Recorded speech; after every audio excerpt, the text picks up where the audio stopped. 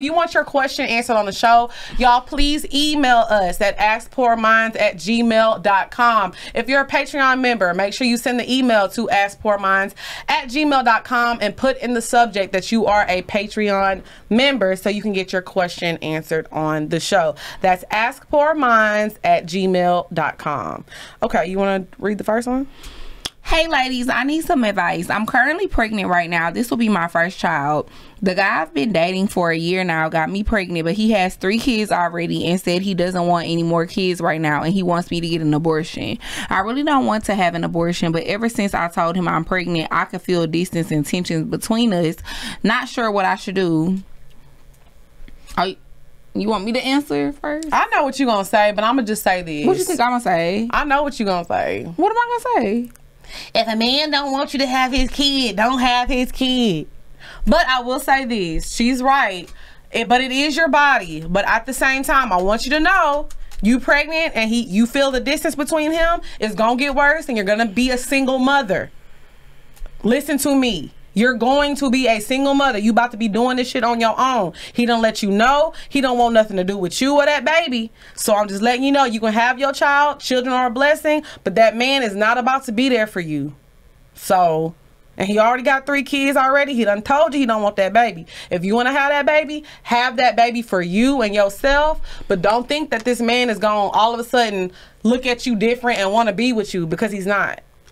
Yes, and I don't know. I'm always an advocate for doing what you want with your body. Like, don't let nobody tell you what to do with your body. Agreed. But at the same time, yeah, if a nigga don't want a baby with you, I always think it's a terrible idea to have a kid with somebody who don't want the kid because, like Lick said, you're gonna be on your own. So you have to ask yourself, are you ready for that financial responsibility? Because you're gonna be doing everything by Mhm. yourself. You know Yep. what I mean? Don't expect no help from him. Child. So So good luck to you, sis. Good luck, sis. Hey, ladies, keep this anonymous because y'all be drunk by this segment. no, me. Because I'm over here sweating, bitch. She know the show. You a good listener. Okay. If you are all wondering, I'm 22, a young fashion designer student, and a lit bitch. A few months ago, I was minding my business and met this man on my street, and he randomly started speaking to me, which most people do because I find I have good energy. This man is way older than me, and he was very sure about wanting to send me money since I am self employed. I was only speaking to this man for 10 minutes, told him my Instagram, and never saw him again. Please tell me why in the world he has recently been messaging me, asking me to send me my number so he could send me money. I told him I don't expect money from anyone off the street. You don't. Well, that's your first problem. That's the first problem already. But anyway. However, he has insisted, so I can, I just continue to send him my cash app and keep it real short because there's really nothing to speak on. Should I continue to allow this random person to send me money? I made it very clear I do not seek anything, want anything, and he continues sending money and claims he will ask for my hand in marriage. I have always attracted what I deserve, so all men in my life have given me nice things without having to ask. I'm in a relationship and I'm very happy, but if you're going to send money, I'm going to receive it. Am I wrong for that? No. No. Let me tell I mean, you some something. people Drea. might feel like you are though, because I mean, some people feel like if you're in a relationship, you shouldn't be accepting things from. But I feel like if she tells her man and she like, makes him aware of it, because we always said that cheating is when your spouse doesn't know what you're doing, no matter what it is. Right. So I feel like as long as you tell your spouse and you like be like open with him about it, I don't see the problem. But then also, you just gonna have to split it. and also, we just went to uh, shout out to Wheezy. We just went to Wheezy's show uh, that prem- uh, premi- premiered on Fuse. Mm-hmm. So she has a show called Sex Sells, and one of the topics on the show was actually pay pigs. This man might be a pay pig. If you don't know what a pay pig is, it's somebody that gets off on literally giving you money. They don't want sex. They don't want to take you on dates. They don't want nothing. They just like they like financial domination. Right. So he might be like a pay pig that he don't want nothing to do with you but just to give you money. Like, and there really are people like that. yeah, I mean that might be his thing, and that might be what he interested in. Right. So you may just be, you may just have, you know, hit your luck and found you a little pay pig. But I do feel like yeah, you need to be careful and tread lightly with the fact that you are in a relationship. You yeah, know I what think mean? you need to tell your, lose your nigga. Yeah, I wouldn't lose my nigga. that. I think you need to tell your nigga what's going on and see how he feels, and if he if he has a problem with it, um, I wouldn't do it out of respect. But that's why I said some niggas don't. Cause you know what? Well, girl, he just sound crazy. Well, not only that, but you have to realize some men are actually more understanding than what we give them. You know, like girls in the sex industry, they do be having boyfriends. They do be understanding. Not saying that you're in the sex industry, but what I'm saying is just have a conversation with your boyfriend. He might just be understanding. Like, you know what I'm saying? Like, yeah, because he might need fifty dollars. that's what I'm saying. You just never know. So I feel like have a conversation with your man. if he is cool with it, as long as you're open and say like, "Oh, he likes me, but I don't like him, babe. I'm just trying to, you know, it's money." And see what he says. If he don't like it, simple, cut it off. If he cool with it, Continue. I would definitely let him know though, for yeah, sure. definitely let him know. Okay, next question. I'm 22 years old and I've been fucking this 42 year old man. Ooh. Let's just say we know each other from around the way. Each time we Around fuck, the way, that sound like daycare. How y'all know each other from around the way? He 42, you 22. I mean, you know, maybe she be outside. Like maybe she be seeing him at the club. And she, when I when I was like 23, I was fucking with a nigga that was like 40. I mean, I was too, but we didn't know each other from around the way, girl. Let's just say we know each other from around the way. Each time we fuck, it's the same old missionary position, and sometimes we go one round a night. He curls up in my pussy so quick, and when he nut, he just be so weak, like he just can't go anymore. Last time we fucked, I asked him for another round. He said, "What you think? I'm a robot?" Sorry, I did that voice because they remind me of somebody. I know exactly what voice that We was. That's ain't- why I looked at you like, what? we actually do the same routine all the time when we fuck. He play with my pussy and eat it, then I suck his dick and we fucking missionary, then he come. I really thought older guys would be more spontaneous and adventurous, No. but not this one. My question is, should I tell him about it and we talk about it, or should I just keep fucking him? I really feel like I shouldn't have to tell a nigga that that's this old what the fuck to do in bed unless I'm teaching him something. Look, old niggas be tired.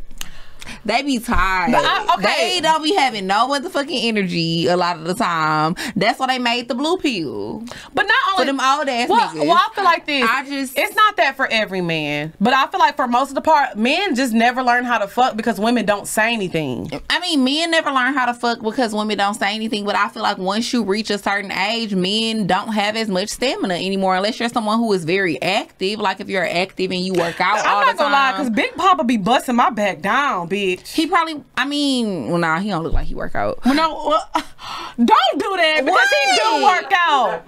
Don't do my man like that. He do work out, bitch. He do. He be doing them little ropes.